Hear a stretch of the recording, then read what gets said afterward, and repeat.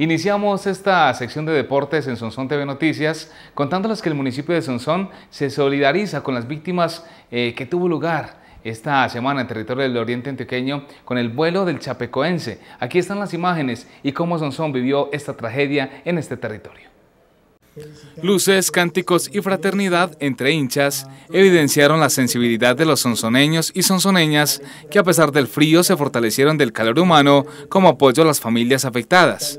Veníamos esperando con mucho entusiasmo la final de la Copa Suramericana y la barra Sonsón Verdolaga pues está organizando una marcha como la que hicimos para la Copa Libertadores.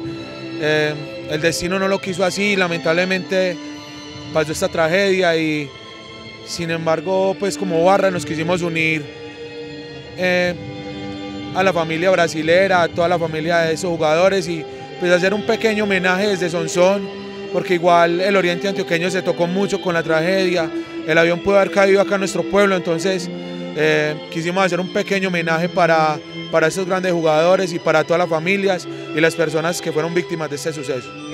De este suceso nefasto para el fútbol mundial se resalta el buen gesto del Atlético Nacional, tras solicitar a la Conmebol que su rival brasileño en la final de la Copa Sudamericana fuera el campeón de esta competencia continental. Sí, ya había, eh, Nacional había perdido finales y creíamos que la tercera iba a ser la vencida, pero me pareció un, acto de caballeros y, y de un equipo grande como es Nacional.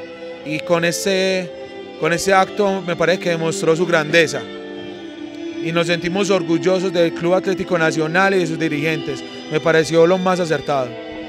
La tragedia chapecoense enseña que el deporte es vehículo de unidad, entrega y fraternidad entre las personas, y que más allá de los colores hay una pasión que compartir como hermanos, el fútbol.